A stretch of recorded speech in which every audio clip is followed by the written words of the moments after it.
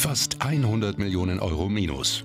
Metin Yasin aus Düsseldorf traut seinen Augen nicht, als er vor einigen Tagen an diesem Automaten Geld abheben will. Das Millionen-Minus kann er sich nicht erklären. Ich habe normalerweise mein Geld äh, drauf, mein Konto. Das war's. Ich habe keine Schulden, nichts. Deswegen ich bin schon seit fünf Tagen keine Schlafen und äh, keine Kraft.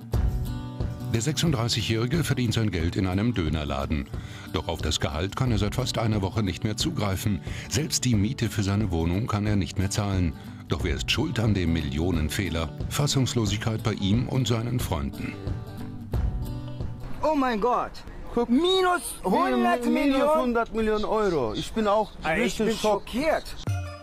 Metin Yasin möchte eine Erklärung, versucht vergeblich in der Bankfiliale den Fehler aufzuklären. Hier kann niemand dem mutmaßlichen Millionenschuldner eine Auskunft geben.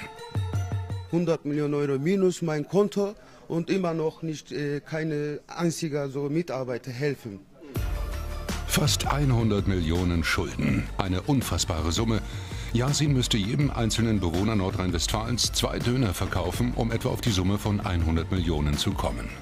100 Millionen äh, minus, oh Gott. Äh, ja, ich würde meine Bank anrufen, schätze ich, ne? Und äh, versuchen, das aufzuklären, ja.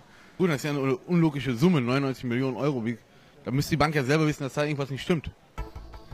Gemerkt hat die Bank das aber eben gerade nicht. Oder etwa doch? Zwar gibt es wegen des Bankgeheimnisses keine Details zu dem Fall, aber unsere Nachfrage bei der Bank ergibt, solche Millionenbeträge sind keine Seltenheit. Es heißt, die Bank mache das, wenn ein Konto gepfändet werden soll, damit der Kunde kein Geld mehr abheben kann. Wörtlich heißt es, wir nutzen hierfür eine Kontosperre in Höhe des maximal buchbaren Betrages. Sie können daher bei Abfragen am Geldautomaten Ihren Kontostand nicht mehr erkennen. Von einer bevorstehenden Pfändung weiß Metin nichts. Klar ist, er ist definitiv nicht über 99 Millionen Euro im Minus. Und deshalb ärgert ihn das Verhalten der Bank. Ich bin schon immer noch äh, böse, weil es keine Hilfe bei mir so, äh, keine Mitarbeiter, keine helfen. Aber auf jeden Fall, ich äh, tauschen so meine Bank. Ob es für den irrtümlichen Millionenschuldner Metin Yasin allerdings so leicht sein wird, eine Bank zu finden, die ihm ein neues Konto eröffnet, ist fraglich.